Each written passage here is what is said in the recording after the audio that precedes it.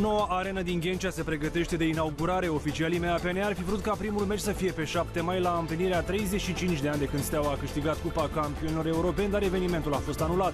Noua dată este 7 iulie, când CSA Steaua va juca un amical cu OFK Belgrad. Motivul alegerii și vechea arenă din Ghencea a fost inaugurată în 1974, tot într-un amical cu echipa sârbă. Vestea proastă pentru Steaua este că nu va putea promova în prima ligă sezonul viitor pentru că rămâne în continuare un club sportiv de drept public, ceea ce contravine legii sportului.